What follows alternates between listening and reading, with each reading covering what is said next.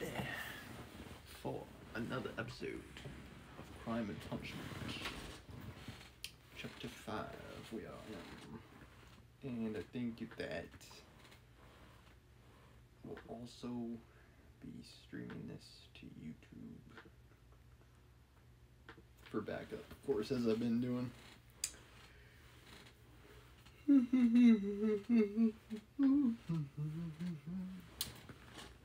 I will, of course, also have the 100 Years of Solitude chapter after this one. I think after I finish Crime and Punishment and 100 Years of Solitude on stream, I will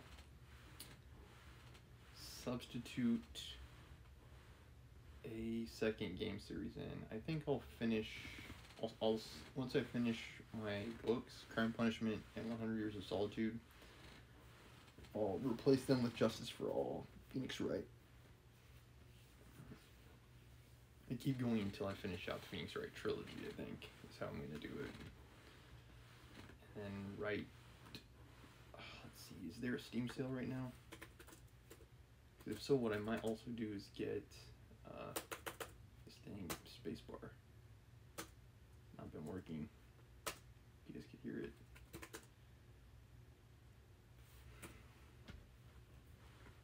Because what I might do, I was gonna say, is also get like Cyberpunk. try that one, or another good one would be um, Sekiro: Shadows Die Twice. And of course, I'll be playing Elden Ring when it comes out.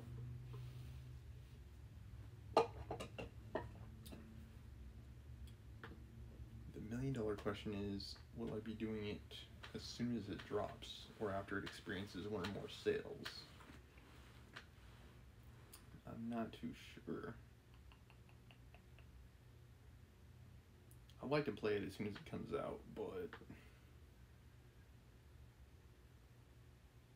that will be budget permitting. um,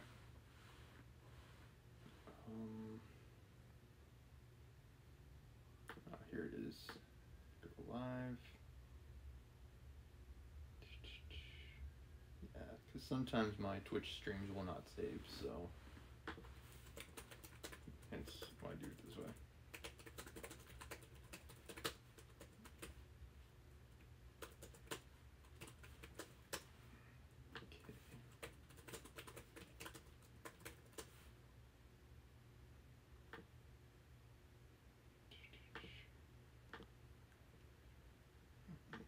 Okay.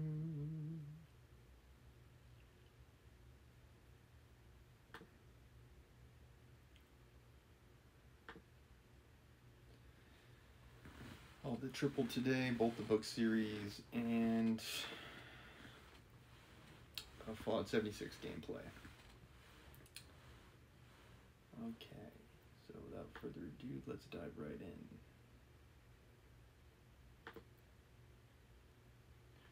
Raskolnikov walked after him. This is chapter 5. Svidrigailov spent most of the last chapter talking about his um, marriage to a young woman. I think he may be trying to mislead Raskolnikov because I think he's giving the impression that he was after Dunya. So he might be trying to throw Raskolnikov off the case for one or more reasons. What's this? cried Svidrigailov, turning around. I thought I said. And Svidrigailov is saying that they should split up. One go right, the other go left. And then he goes right. It means that I am not going to lose sight of you now. What?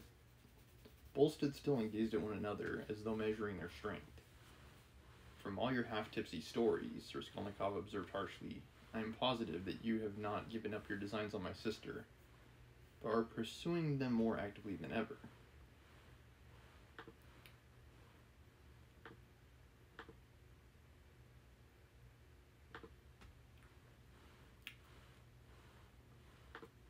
Like it's a ruse that he was saying at the end of the last chapter that he's going to marry someone else. I've learnt that my sister received a letter this morning. You've hardly been able to sit still all this time. You may have unearthed a wife on the way, but that means nothing. I should like to make certain myself.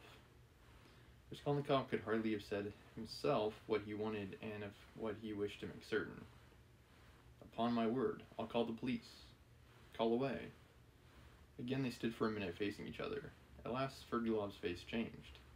Having satisfied himself that Raskolnikov was not frightened at his threat, he assumed a mirthful and friendly air. What a fellow! I purpose, purposely refrain from referring to your affair, though I am devoured by curiosity. It's a fantastic affair. I put it off till another time, but you're enough to to rouse the dead. Well, let us go. Only I warn you beforehand, I'm only going home for a moment to get some money. Then I shall lock up the flat, take a cab, and go to spend evening at the islands. Spend the evening at the islands. Now, are you going to follow me? I'm coming to your lodgings, not to see you, but Sofia Semyonovna, to say I'm sorry not to have been at the funeral. That's as you like, but Sofia Semyonovna is not at home. She has taken the three children to an old lady of high rank, the patroness of some orphan asylums, whom I used to know years ago. I charmed the old lady by depositing a sum of money with her to provide for the three children of Katerina Ivanovna and subscribing to the institution as well. I told her, too, the story of Sofia Semyonovna in full detail, suppressing nothing. It produced an indescribable effect on her. That's why Sofia Semyonovna has been invited to call today at the X hotel where the lady is staying for the time. No matter, I'll come all the same. As you like, it's nothing to me, but I won't come with you. Here we are at home. By the way, I'm convinced that you regard me with suspicion just because I have shown such delicacy and have not so far troubled you with questions, you understand? Struck you as extraordinary, I don't mind betting it's that. Well, it teaches one to show delicacy. And to listen at doors. That's it, is it? That's it, is it? laughed Svidrigailov. Yes, I should have been surprised if you had let that pass after all that has happened. Haha. Though I did understand something of the pranks you'd been up to and were telling Sofia Semyonovna about, what was the meaning of it? Perhaps I'm quite behind the times and can't understand. For goodness sake, explain it, my dear boy. Expound the, la- the latest theories. You couldn't have heard anything. You're making it all up. But I'm not talking about that, though I did hear something. No, I'm talking the way you keep sighing and groaning now. Schiller in you is revolt is in revolt every moment, and now you tell me not to listen at doors. That's how you feel, go and inform the police that you had this mischance. You made a little mistake in your theory. But if you're convinced that one mustn't listen at doors, but one may murder old women at one's pleasure, you better be off to America and make haste. So is this two people who knows now? I think so. You gotta plug my phone. Hold on a second.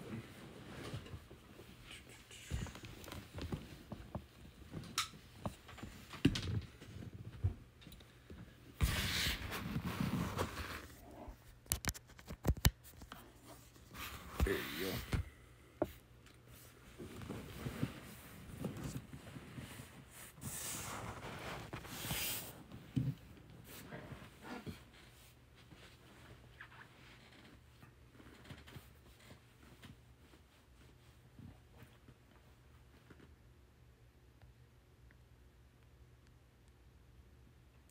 I guess for Glove, Sonia, and Luzhin all know now that Raskolnikov was the murderer, I believe. Run, young man. There may still be time. I'm speaking sincerely. Haven't you the money? I'll give you the fare. I'm not thinking of that at all, Raskolnikov interrupted with disgust. I understand, but don't put yourself out. Don't discuss it if you don't want to. I understand the questions you're worrying over. More ones, aren't they? Duties of citizen and man. Lay them all aside. They're nothing to you now. Haha. you say you're still a man and a citizen. So you ought not to have got into this coil. It's no use taking up a job you're not fit for. Well, you'd better shoot yourself, or don't you want to? You seem trying to enrage me, or make me leave you. What a queer fellow, but here we are. Welcome to the staircase. You see, that's the way to Sofia Semyonovna. Look, there is no one at home. Don't you believe me? Ask Kapernaumov. She leaves the key with him. Here's Madame de Kapernaumov hers- herself. Hey, what? She's rather deaf. Has she gone out? Where? D- did you hear? She's not in and won't be till late in the evening, probably. Come to my room. You wanted to come and see me, didn't you? Here we are. Madame Resslich is not at home. She's a woman who's always busy, but an excellent woman, I assure you. She might have been of use to you if you had been a little bit more sensible. Now, see, I take this 5% bond out of the borough. See what a lot I've got of them still. This won't be turned to, into cash today. I mustn't waste any more time. The borough is locked. The flat is locked. Here we are again on the stairs. Shall we take a cab? I'm going to the islands. Would you take a lift? I'll take this carriage. Uh, you refuse. You're tired of it. Come for a drive. I believe it will come on to rain. Never mind. We'll put down the hood. Svidrigailov was already in the carriage. Raskolnikov decided that his suspicions were at least for that moment unjust. Without answering a word, he turned and walked back towards the Haymarket. If he had only turned round on his way, he might have seen Svidrigailov get out not a hundred paces off, dismiss the cab, and walk along the pavement. But he had turned the corner and could see nothing. Intense disgust drew him away from Svidrigailov. To think that I could for one instant have looked for help from that coarse brute, that depraved sensualist and blackguard, he cried. I think he was looking for help to get away from Luzhin, but his ramblings about who he wants to marry got on Raskolnikov's nerves. Raskolnikov's judgment was uttered too lightly and hastily. There was something about Svidrigailov which gave him a certain original, even a mysterious character. As concerned his sister, Raskolnikov was convinced that Svidrigailov would not leave her in peace, but it was too tiresome and unbearable to go on thinking and thinking about this. When he was alone, he had not gone twenty paces before he sank, as usual, into deep thought. On the bridge, he stood by the railing and began gazing at the water, and his sister was standing close by him. He met her at the entrance to the bridge, but passed by without seeing her. Dunya had never met him like this in the street before, and was struck with dismay. She stood still and did not know whether to call to him or not. Suddenly she saw Svidrigailov coming quickly from the direction of the Haymarket. He seemed to be approaching cautiously. He did not go on to the bridge, but stood aside on the pavement, doing all he could to avoid Raskolnikov seeing him. He had observed Dunya for some time and had been making signs to her. She fancied he was signaling to beg her not to speak to her brother, but to come to him. That was what Dunya did. She stole by her brother and went up to Svidrigailov. Let us make haste away, Svidrigailov whispered to her. I don't want Rodion Romanovich to know of our meeting. I must tell you I've been sitting with him in the restaurant close by, where he looked me up, and I had great difficulty in getting rid of him. He's somehow heard of my letter to you and suspects something. It wasn't you who told him, of course, but if not you, who then? Well, we've turned the corner now, Dunya interrupted, and my brother won't see us. I have to tell you that I'm going no further with you.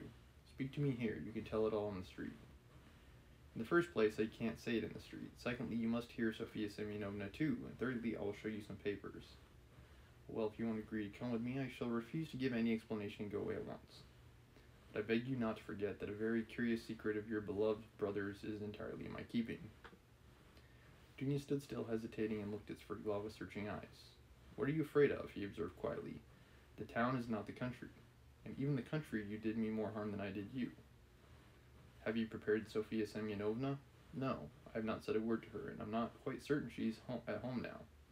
But most likely she is. She's buried her stepmother today. She's not likely to go visiting on such a day. So did he lie to Raskolnikov then? For the time, I don't want to speak to anyone about it, and I half regret having spoken to you.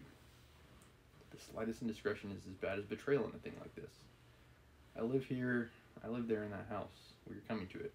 That's the port of our house. He knows me very well. You see, he's bowing. He sees I'm coming with a lady, and no doubt he has noticed your face already. You'll be glad of that if you're afraid of me and suspicious. Excuse my putting things so coarsely. I haven't a flat to myself. Sophia, Sophia Semyonovna's room is next to mine. She lodges in the next flat. The whole floor is let out in lodgings. Why are you frightened like a child? Am I really so terrible? Svidrigailov's lips were twisted in a condescending smile, but he was in no smiling mood. His heart was throbbing and he could scarcely breathe. He spoke rather loud to cover his growing excitement. Petunia did not notice this peculiar excitement. She was so irritated by his remark that she was frightened of him like a child and that he was so terrible to her. Though I know that you're not a man of honor I am not the least afraid of you. Lead the way, she said with apparent composure, but her face was very pale. Svidrigailov stopped at Sonia's room. Allow me to inquire whether she's at home. She's not. How for- unfortunate. But I know she may come quite soon. If she's gone out, it can only be to see a lady about the orphans. Their mother's dead. I've been meddling and making arrangements for them. If Sofia Semyonovna does not come back in ten minutes, I will send her to you today if you like. This is my flat. These are my two rooms. Madame Resslich, my landlady, has the next room. Now look this way. I'll show you my chief piece of evidence. This door from my bedroom leads into two perfectly empty rooms, which are to the let, which are to let. Here they are. You must look into them with some attention. Svidrigailov occupied two fairly large furnished rooms. Dunya was looking about her mistrustfully, but saw nothing special in the furniture or position of the rooms. There was something to observe, for instance, that Svidrigailov's flat was exactly between two sets of almost uninhabited apartments. His rooms were not entered directly from the passage, but through the landlady's two almost empty rooms. Locking a door leading out of his bedroom, Svidrigailov showed Dunya the two empty rooms that were to let. Dunya stopped in the doorway, not knowing that she was called to look upon, but Svidrigailov hastened to explain.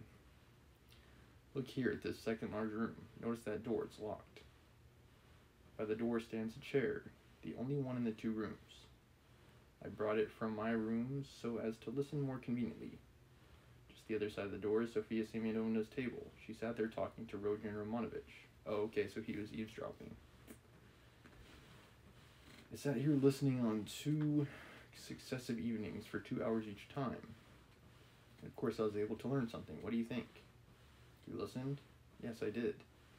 Now come back to my room. We can't sit down here. He brought Avdotya Romanovna back into his sitting room and offered her a chair. And why is Svidrigailov staying there? I don't know. Like, isn't he rich? Like, why would he be in the same place as Sophia? Sophia's poor. I, I honestly don't know. Unless he's trying to get. Unless he's trying to take advantage of Raskolnikov, which could be the case. But how how could and would he know that? I don't know.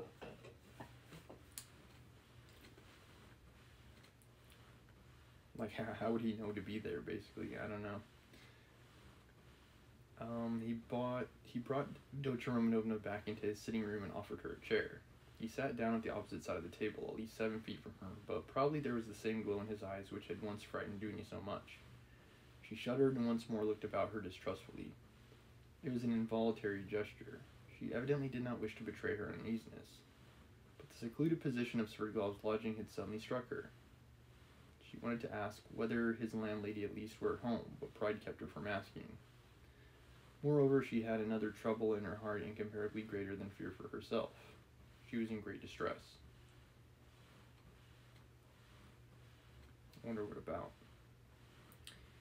Here's your letter, she said, laying it on the table. Can it be true that what you write? You hint at a crime committed, you say, by my brother. You hint at it too clearly. You daren't deny it now. I must tell you that I've heard of this stupid story before you wrote and don't believe a word of it. It's a disgusting and ridiculous suspicion. I know the story and why and how it was invented. You have no proofs. You promise to prove it. Speak. But let me warn you that I don't believe you. I don't believe you. Dunya said this, speaking hurriedly, and for an instant the color rushed to her face. If you didn't believe it, how could you risk coming alone to my rooms? Why have you come? Simply from curiosity? Don't torment me. Speak. Speak. There's no denying that you're a brave girl. Upon my word, I thought you would have asked Mr. Razumikhin to escort you here.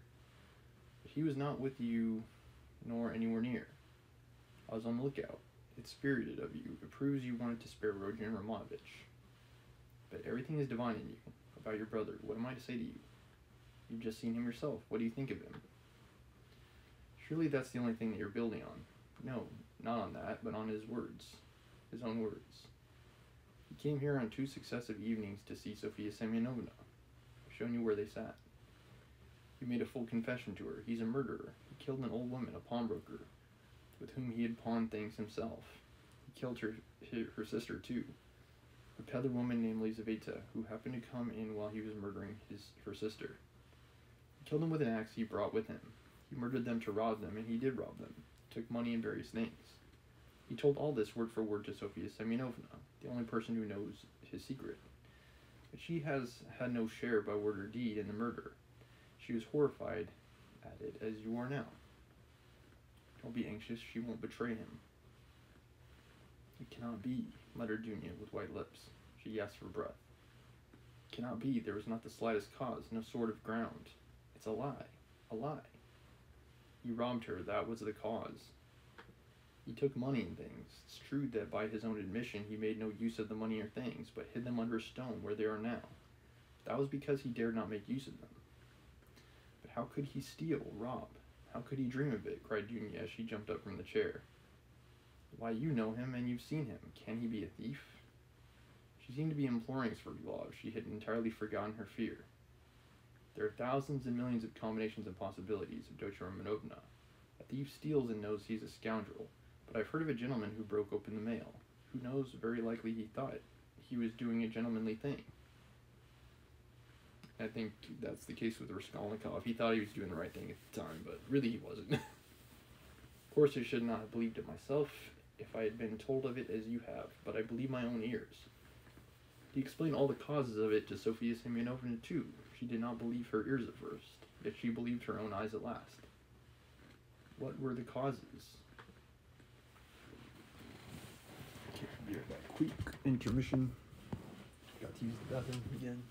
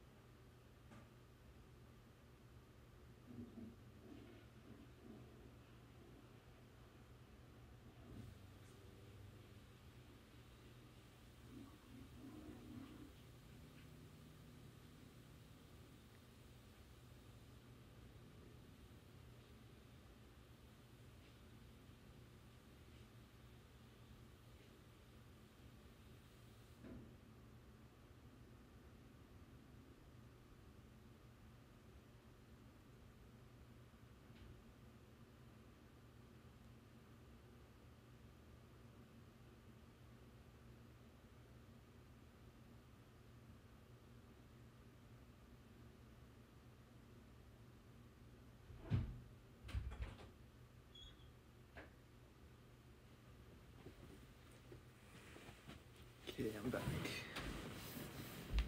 My desk. There we go.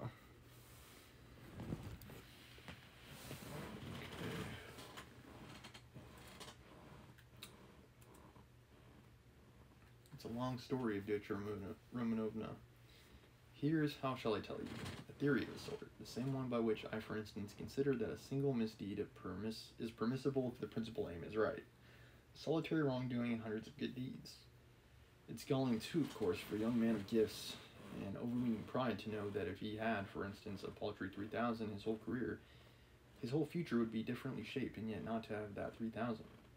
To add to that, nervous irritability from hunger, from lodging in a hole, from rags, from a vivid sense of the charm of his social position and his sister and mother's position, too. Above all, vanity, pride, and vanity, though goodness knows he may have good qualities too. I'm not blaming him, please don't think it. Besides, it's not my business. A special little theory came in too, a theory of a sort. Dividing mankind, you see, into material and superior p- persons. That is, persons to whom the law does not apply owing to their superiority, who make laws for the rest of mankind. The material, that is. It's all right as a theory, but uh, un theory comme un autre. Napoleon attracted him tremendously, that is, What affected him was that a great many men of genius have not hesitated at wrongdoing, but have overstepped the law without thinking about it. He seems to have fancied that he was a genius too, that is, he was convinced of it for a time. He suffered a great deal and is still suffering from the idea that he could make a theory, but was incapable of boldly overstepping the law. So he is not a man of genius. That's humiliating for a young men of any pride, in our day especially. Yeah, he, yeah, I still don't know why he was comparing himself to Napoleon. They're nothing alike. Remorse, he deny him any moral feeling then. Is he like that? Uh, Romanovna, everything is in a muddle now. Not that it was ever in very good order. Russians in general are broad in their ideas, Avdotya Romanovna, broad like their land, and exceedingly disposed to the fantastic, the chaotic. But it's a misfortune to be broad without a special genius. Do you remember what a lot of talk we had together on the subject sitting in the evenings on the terrace after supper? Used to reproach me with breadth. Who knows, perhaps we were talking at the very time he was lying here thinking over his plan. Exactly. If if he was living with them in their flat, how and why is it the case he's living with Sophia now? I don't understand. I don't understand how and why he moved. Unless he was able to predict or something like that. I don't know. There are no sacred tradi- traditions amongst us, especially in the educated class, Avdotya Romanovna. At the best, someone will make them up somehow for himself out of books or from some old chronicle. But those are, for the most part, the learned and the old fogies, so that it would be almost ill-bred in a man of society. You know my opinions in general, though. I never blame anyone. I do nothing at all. I preserve, persevere in that. But we've talked of this more than once before. I was so happy indeed as to interest you in my opinions. You're very pale, Avdotya Romanovna. I know his theory. I read that article of his about men to whom all is permitted. Razumikhin brought it to me. Mr. Razumikhin, your brother's article? In a magazine? Is there such an article? I didn't know. It would be interesting, but where are you going, Avdotya Romanovna? I want to see Sophia Semyonovna, Dunya articulated faintly. How do I get to her? She has come in, perhaps. I must see her at once. Perhaps she...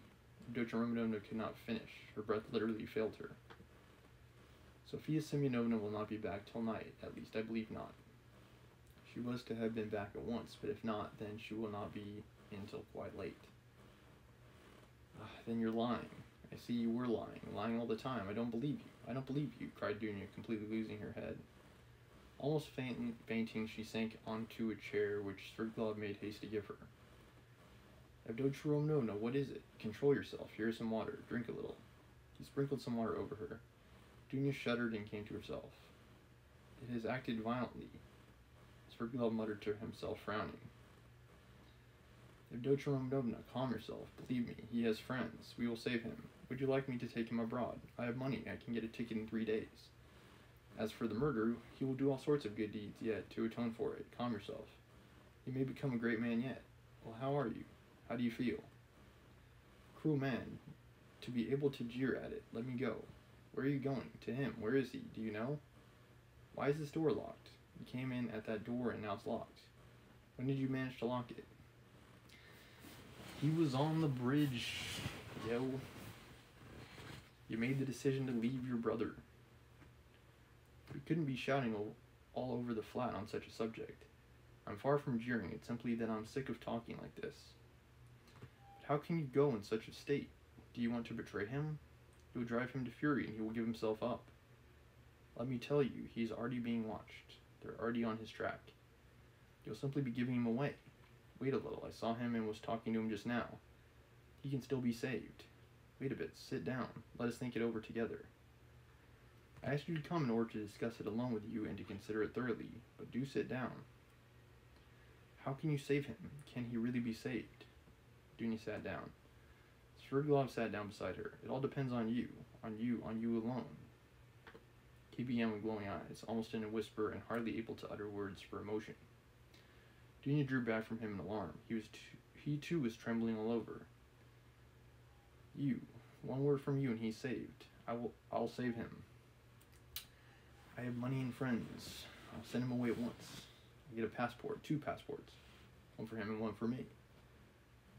Uh, unless he like moves Sonya in with him after the funeral, which I guess somewhat makes sense.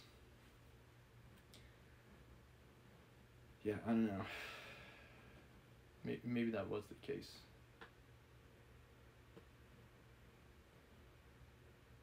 Um, I have friends, capable people. If you like, I'll take a passport for you, for your mother. What do you want with Razumikhin? I love you too. I love you beyond, beyond everything. Let me kiss the hem of your dress. Let me, let me. The very rustle of it is too much for me. Tell me to do that, and I'll do it. I'll do everything. I will do the impossible. What you believe, I will believe. I'll do anything, anything. Don't, don't look at me like that. Do you know that you're killing me? He was almost beginning to rave. Something sudden seemed suddenly to go to his head.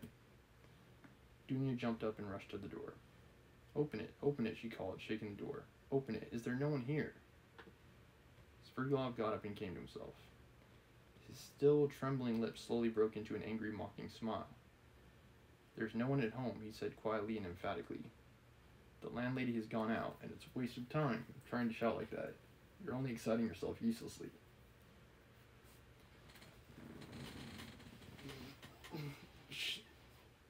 yeah, I don't know. She lived with the guy. Like, he was the old landlord, I'm pretty sure. So, yeah, she spent time him, so why wouldn't she be able to predict this happening? I don't know. Like, she knew how he was, so I don't know why she would put herself in this situation to begin with. Where's the key? Open the door at once, base man. I've lost the key and can't find it. This is an outrage, cried Dunya, turning pale as death. She rushed to the furnace furthest corner, where she made haste to barricade herself with a little table. She did not scream, but she fixed her eyes on her tormentor and watched every movement he made. Svidrigailov remained standing at the other end of the room facing her. He was positively composed, at least in appearance, but his face was as pale as before. The mocking smile did not leave his face. You spoke of outrage just now, Dotya. In that case, you may be sure I've taken measures. Sofia Semyonovna is not at home. The Kapernaumovs are far away. There are five locked rooms between. I'm at least twice as strong as you are, and I have nothing to fear besides, for you cannot complain afterwards. You surely would not be willing to actually betray, well, willing actually to betray your brother. Besides, no one will believe you. How should a girl have come alone to visit a solitary man in his lodgings? So that even if you do sacrifice your brother, you could prove nothing. Very difficult to prove an assault of Dotya Romanovna. Scoundrel, whispered Dunya indignantly. Yeah, I don't know why she would go there either. As you like, but observe I was only speaking by way of a general proposition. It's my personal conviction that you're perfectly right. Violence is hateful. I only spoke to show you that you need have no remorse, even if you were willing to save your brother of your own accord, as I suggest to you. You'd be simply submitting to circumstances, to violence, in fact, if we must use that word. Think about it. Your brother's and mother's fate are in your hands. I'll be your slave all my life. I'll wait here. Svidrigailov sat down on the sofa about eight steps from Dunya. She had not the slightest doubt now of his unbending determination. Besides, she knew him. Again, like you know the guy, so like. Suddenly, she pulled out of her pocket a revolver, cocked it, and laid it in her hand on the table. Svidrigailov jumped up. So that's it, he cried, surprised by smiling maliciously. Well, that completely alters the aspect of affairs. You made things wonderfully easier for me, Dotya Romanovna. Where'd you get the revolver? Was it Mr. Razumikhin? Why, it's my revolver, an old friend. And how I've hunted for it. The shooting lessons I've given you in the country have not been thrown away. It's not your revolver. It belonged to Marfa Petrovna, whom you killed, wretch. There is nothing of yours in her house. Took it when I began to suspect you, what you were capable of. If you dare to advance one step, I swear I'll kill you. She was frantic. But your brother? I asked from curiosity, said Svidrigailov, still standing where he was. Inform if you want to. Don't stir. Don't come near. I'll shoot. You poisoned your wife, I know. You're a murderer yourself. She held the revolver ready. Are you so positive I poisoned Marfa Petrovna? You did. You hinted it yourself. Yeah, I would not be surprised if you did kill her. You talked to me of poison. I know you went to get it. You had it in readiness. It was your doing. It must have been your doing, scoundrel. Even if that were true, it would have been for your sake. You would have been the cause. You're lying. I hated you always, always. Oh, Avdotya Romanovna. You seem to have forgotten how you softened to me in the heat of propaganda. I saw it in your eyes. Do you remember that moonlit night, that moonlight night, when the nightingale was singing?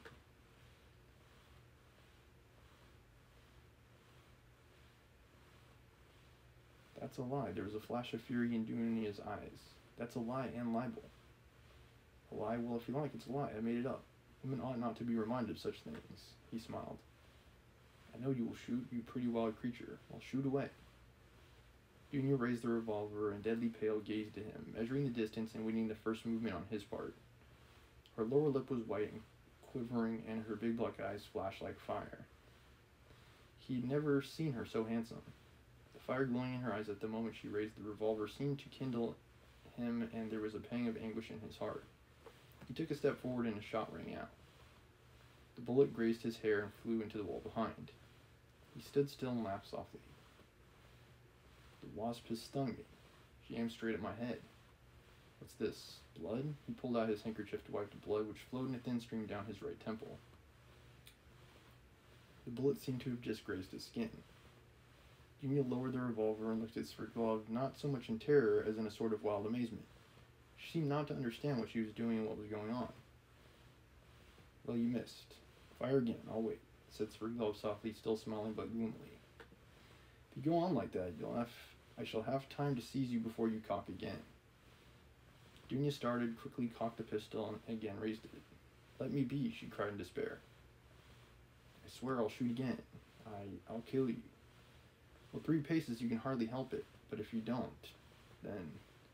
His eyes flashed and he took two steps forward. Dunya shot again. It missed fire. Wow. You haven't loaded it properly. Never mind. You have another charge there. Get it ready. I'll wait. He stood facing her two paces away, waiting and gazing at her with wild determination with feverishly passionate, stubborn, set eyes. How she could miss at that distance, I don't know. Dunya saw that he would sooner die than let her go. And now, of course, she would kill him at two paces. Suddenly, she flung away the revolver. She's dropped it, said Svidrigailov with surprise, and he drew a deep breath.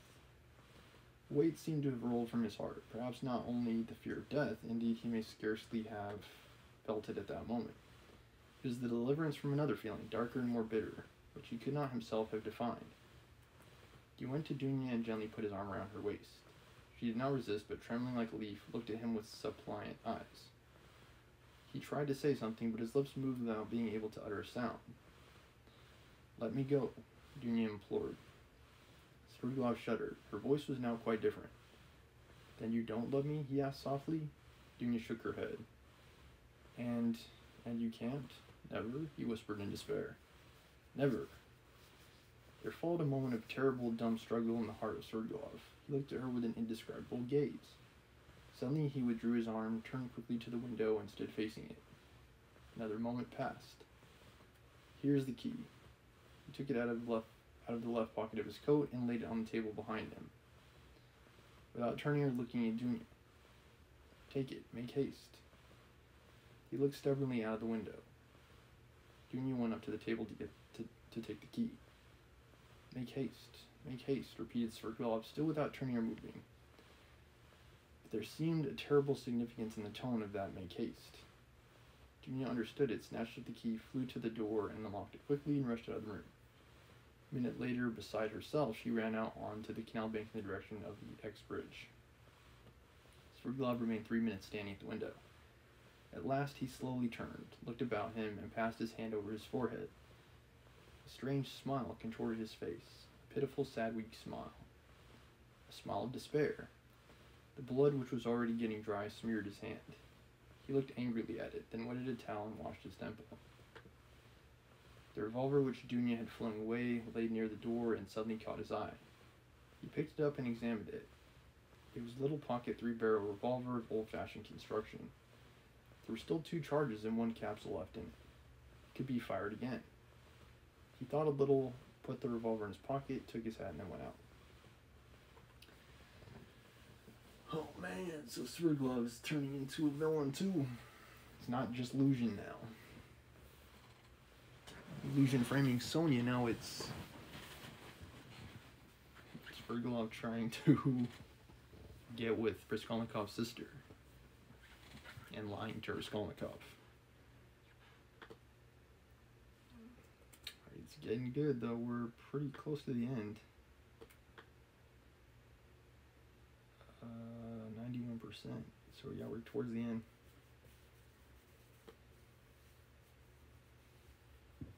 And who knows what he's going to do with that revolver, but if but yes, something bad. Alright. Be right back with 100 Years of Solitude. Thank you for watching.